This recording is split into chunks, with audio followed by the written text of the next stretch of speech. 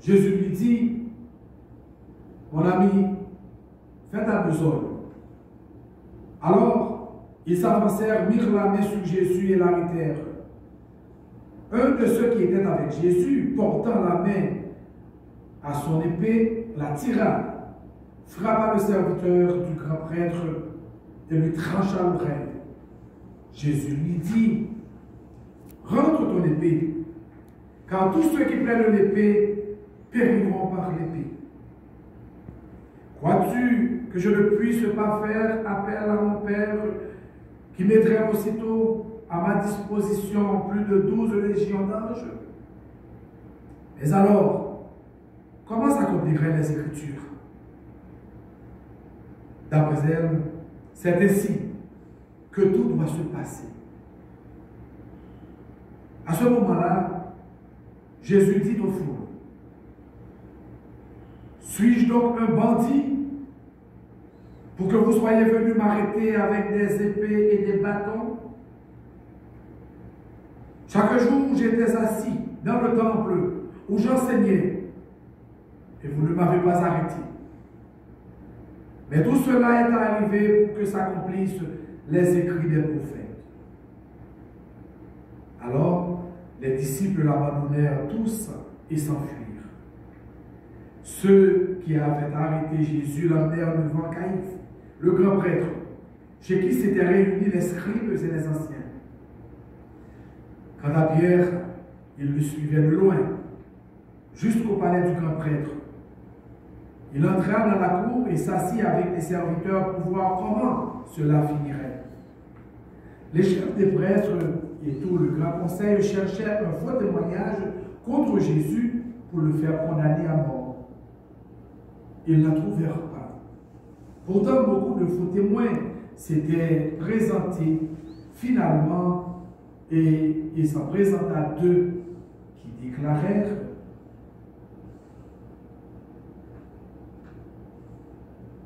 Cet homme a dit, je peux détruire le temple de Dieu et en trois jours le rebâtir. Alors le grand prêtre se leva et lui dit, tu ne réponds rien à tous ces témoignages portés contre toi Mais Jésus gardait le silence. Le grand prêtre lui dit, je t'adjure par le Dieu vivant de nous dire si tu es le Messie, le Fils de Dieu. Jésus lui répond, c'est toi qui l'as dit. Mais en tout cas, je vous le déclare. Désormais, vous verrez le Fils de l'homme siéger à la droite de Tout-Puissant et venir sur les nuées du ciel. Alors le grand prêtre déchira ses vêtements en disant, il a blasphémé. Pourquoi nous faut-il encore des témoins? Vous venez pour le blasphème? Quel est votre avis? Ils répondirent Il mérite la mort. Alors, ils lui crachèrent au visage et le rouèrent de coups. D'autres le giflèrent en disant Fais-nous le prophète, Messie. Qui est-ce qui t'a frappé Quant à Pierre, il était assis dehors dans la cour, une servante s'approcha de lui. Toi aussi tu étais avec Jésus, le Galiléen. Mais il nia devant tout le monde. Je ne sais pas ce que tu veux dire. Comme il se retirait vers le portail, une autre le vit et dit aux gens qui étaient là, celui-ci était avec Jésus Nazareth. De nouveau, Pierre le nia. Je jure que je ne le connais pas, cet homme. Peu après, ceux qui se tenaient là s'approchèrent de Pierre. Sûrement, toi aussi, tu fais partie de ces gens-là. D'ailleurs, ton accent te trahit. Alors, il se mit à protester violemment et à jurer. Ne connais pas cet homme. Aussitôt, un coq chanta. Et Pierre se rappela ce que Jésus lui avait dit. Avant que le coq chante, tu m'auras renié trois fois. Il sortit et pleura amèrement. Le matin venu, tous les chefs des prêtres et les anciens du peuple tinrent conseil contre Jésus pour le faire condamner à mort. Après l'avoir ligoté, ils l'emmenèrent pour le livrer à Pilate, le gouverneur. Alors, Judas le traître fut pris de remords en le voyant condamné. Il rapporta toute pièce d'argent aux chefs des prêtres et aux anciens. Il leur dit, J'ai péché en livrant à mort un innocent. Ils répliquèrent, Qu'est-ce que cela me fait? Cela te regarde.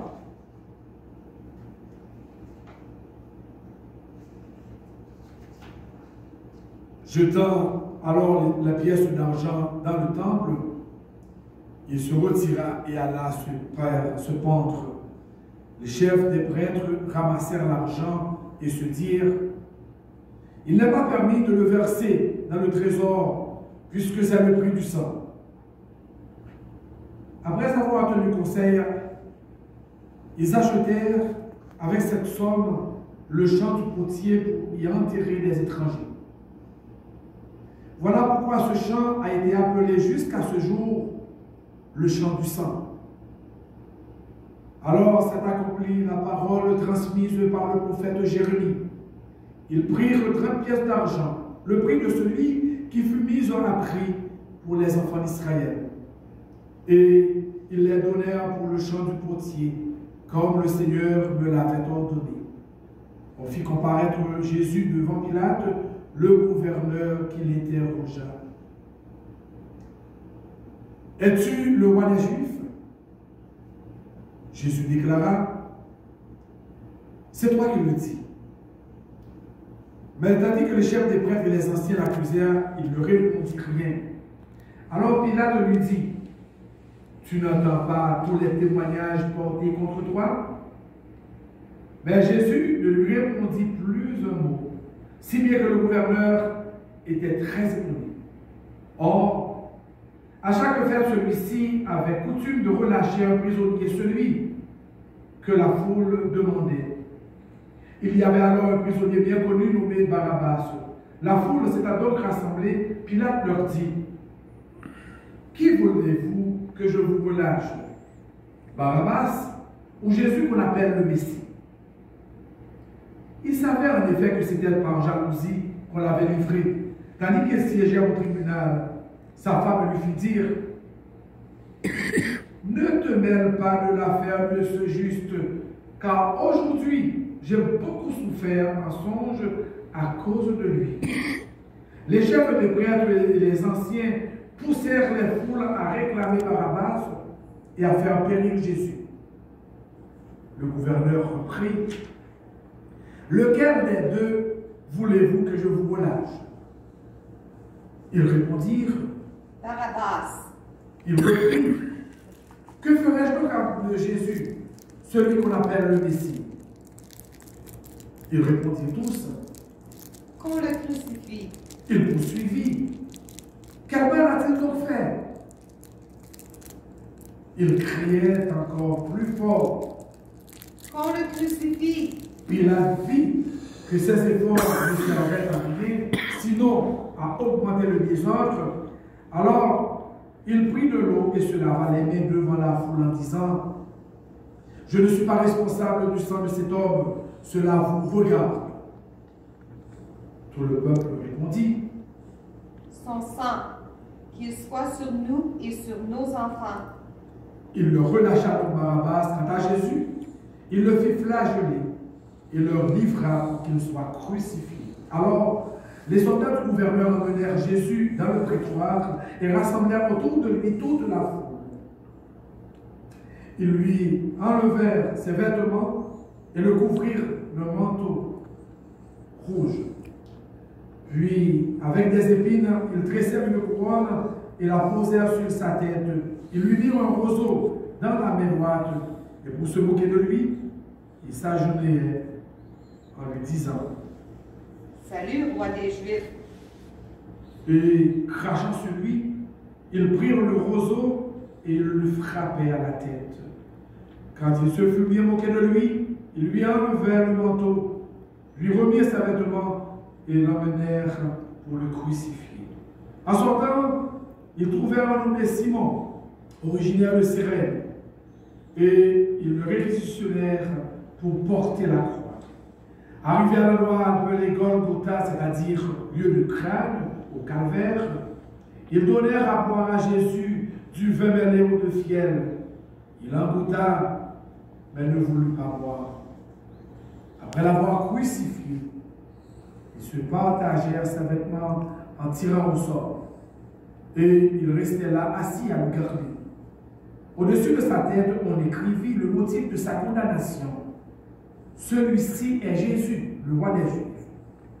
En même temps, on crucifie avec lui deux bandits, l'un à droite et l'autre à gauche. Les pensants l'injuriaient en hochant la tête. Toi qui as détruit le temple et le rebâti en trois jours, sauve-toi toi-même. Si tu es le Fils de Dieu, et descends de la croix. De même, les chefs de prêtres se moquaient de lui avec les scribes et les anciens en disant Il en a sauvé d'autres, et il ne peut pas sauver lui-même. C'est le roi d'Israël qu'il descende maintenant de la croix et nous croyons en lui. Il a mis sa confiance en Dieu, que Dieu le délivre maintenant s'il l'aime. Car il a dit, je suis le Fils de Dieu. Les bandits crucifiés avec lui l'insultaient de la même manière. Et à partir de midi, l'obscurité se fit sur, sur toute la terre jusqu'à trois heures. Vers trois heures, Jésus cria d'une voix forte, Élie, Élie, lama sabachthani. Ce qui veut dire, mon Dieu, mon Dieu, pourquoi m'as-tu abandonné? Quelques-uns de ceux qui étaient là disaient en, entendant Le voilà qui appelle le prophète Élie. Aussitôt, l'un de courut prendre une éponge qu'il trempa dans une boisson vinaigrée. Il la mit au bout d'un roseau et il lui donnait à boire. Les autres dirent Attends, ah. nous verrons bien si Élie va, euh, va venir le sauver. Mais Jésus, poussant de nouveau un grand cri, rendit l'esprit.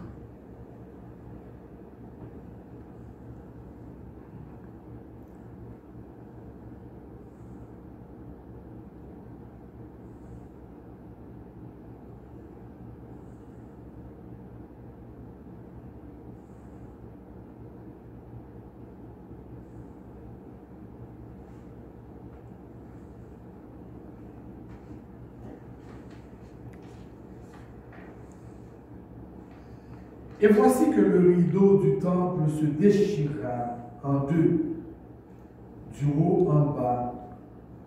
La terre trembla et les rochers se fendirent. Les tombeaux s'ouvrirent, les corps de nombreux saints qui étaient morts ressuscitèrent. Et sortant des tombeaux après la résurrection de Jésus, ils entrèrent dans la ville sainte et se montrèrent un grand nombre de gens. À la vue du tremblement de terre et de tous ces événements, le centurion et ceux qui, avec lui, gardaient Jésus, furent saisis d'une grande crainte et dirent, Vraiment, celui-ci était le Fils de Dieu. Il y avait là plusieurs femmes qui regardaient à distance. Elles avaient suivi Jésus depuis la Galilée pour le servir. Parmi elles se trouvait Marie, Madeleine, Marie, la mère de Jacques et de Joseph, et la mère de, des fils de Zébédée. Le soir venu arriva un homme riche, originaire d'Arimathie, qui s'appelait Joseph, et qui était devenu lui aussi disciple de Jésus. Il alla trouver Pilate pour demander le corps de Jésus. Alors Pilate ordonna de le lui remettre. Prenant le corps, Joseph l'enveloppa dans un seuil neuf et le déposa dans le tombeau qu'il venait de se faire tailler dans le roc.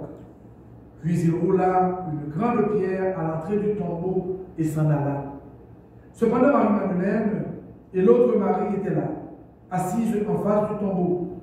Quand la journée des préparatifs de la fête fut achevée, les chefs des prêtres et les pharisiens s'assemblèrent chez Pilate en disant Seigneur,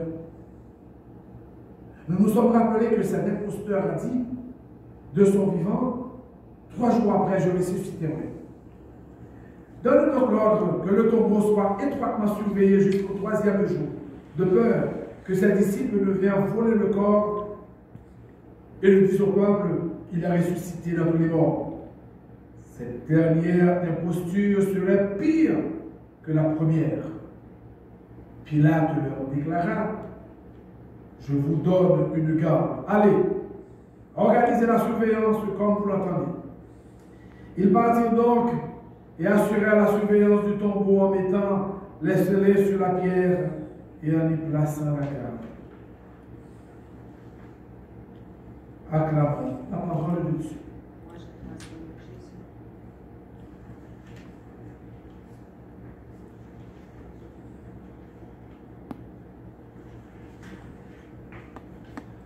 Frères et sœurs, paroissiens, paroissiennes, j'ai choisi, choisi comme thème de notre célébration d'aujourd'hui, Mon Dieu, mon Dieu, pourquoi m'as-tu abandonné? Aujourd'hui, la pandémie qui touche le monde entier nous donne l'impression d'être abandonnés. Et on pourrait faire du cri de ce cri de Jésus, notre cri. Où es-tu, Père? Tout au long de mon ministère, j'entends des gens dire, mais pourquoi Dieu a-t-il laissé périr son fils?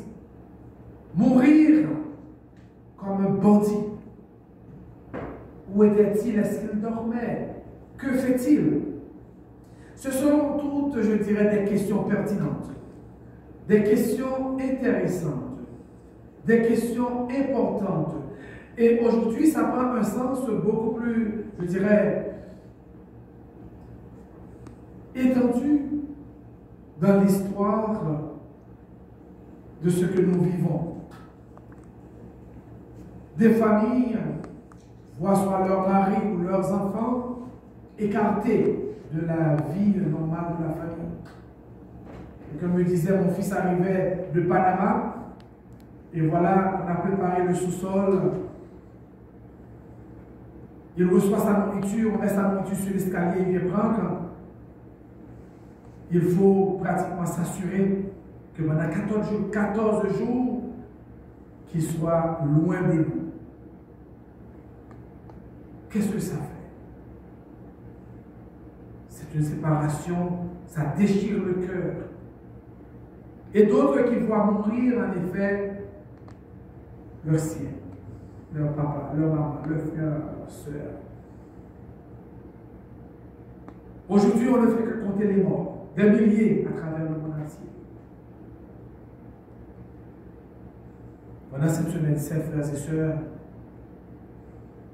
la lecture de la Passion nous est donnée pour reprendre foi.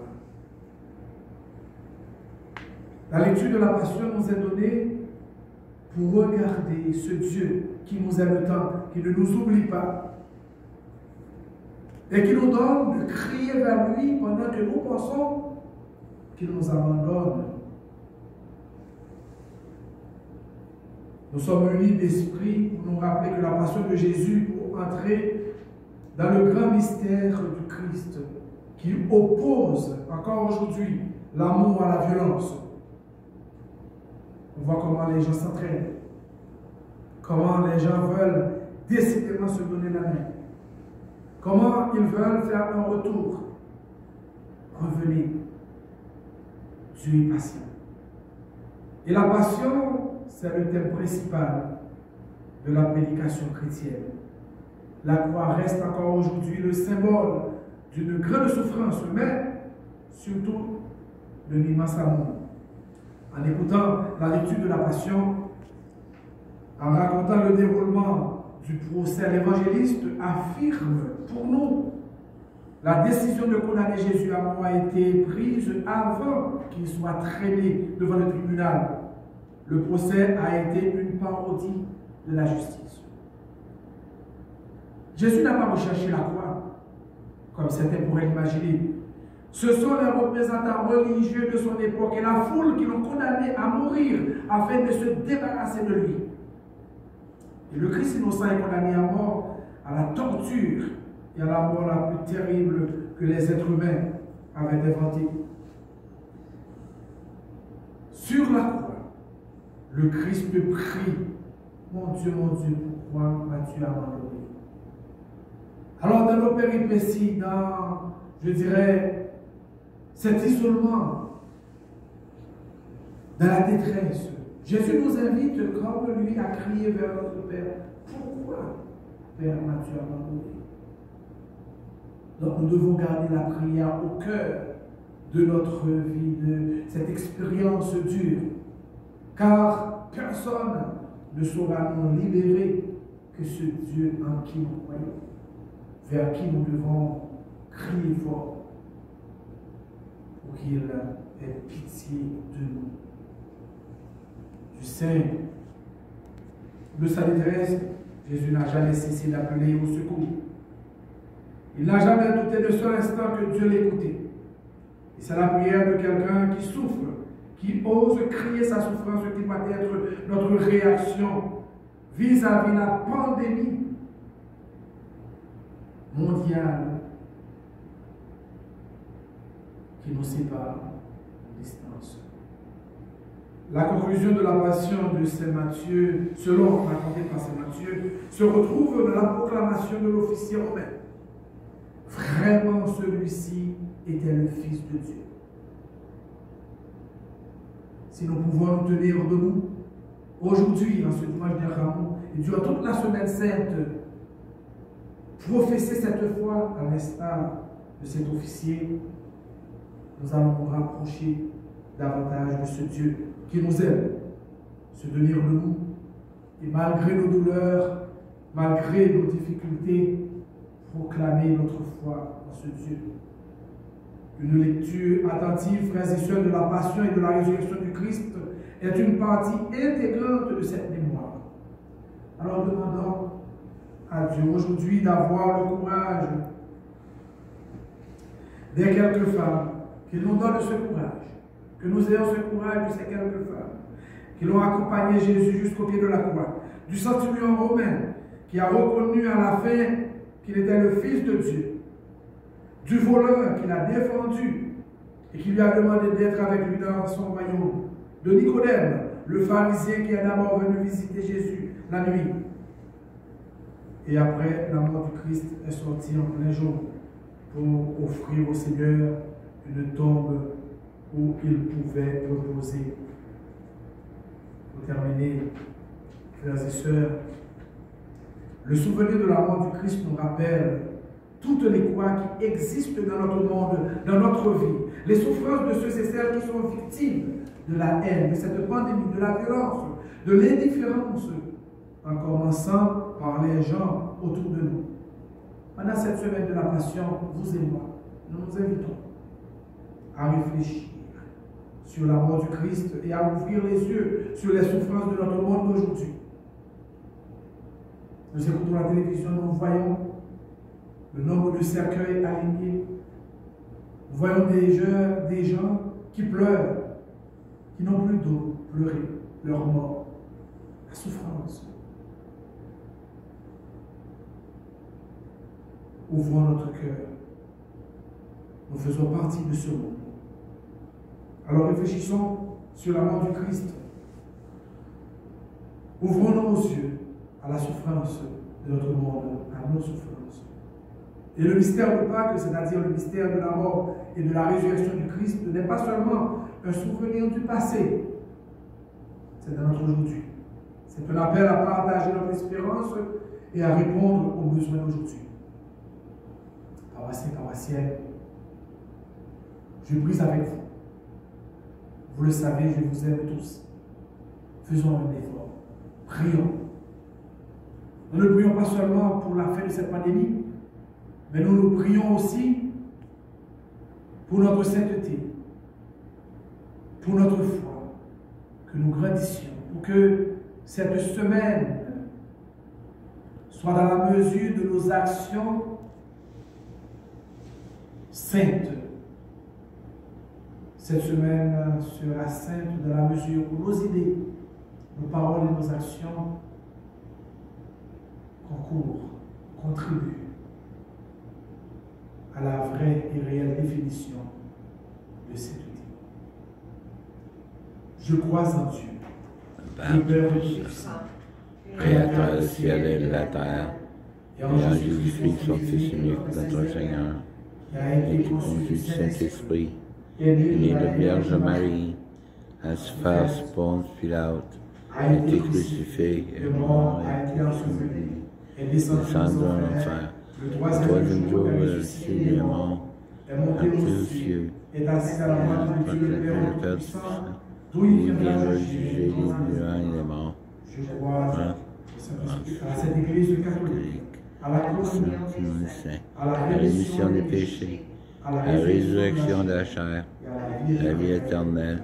Amen. Pour l'Église, afin que tout au long de la semaine, la semaine sainte, elle redécouvre et approfondisse le mystère de la mort de Jésus comme source du salut éternel. Prions le Seigneur. Ô Dieu Dieu sauveur, sauveur, exauce-nous. exauce-nous.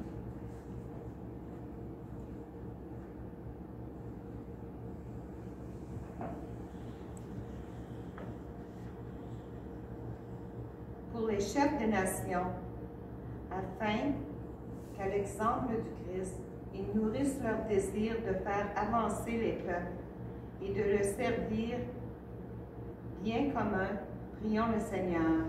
Ô Dieu sauveur, exauce-nous. Pour les jeunes, appelés à souligner d'une manière spéciale cette journée, afin que la fidélité du Christ inspire et éclaire toujours leurs engagements. Prions le Seigneur. Ô Dieu sauveur, exauce-nous. Pour les catéchumènes, afin qu'ils vivent une expérience profonde lors de leur baptême et que l'Esprit fasse d'eux des témoins vivants de l'amour du Christ. Prions le Seigneur. Ô Dieu sauveur, exauce-nous. Pour notre communauté, afin que la joie continue, continue à l'habiter et à stimuler sa mission de faire connaître et aimer Jésus-Christ. Prions le Seigneur. Ô Dieu sauveur, exauce-nous. Pour les malades, ceux qui sont partis à cause de cette pandémie, prions le Seigneur en lui demandant d'intervenir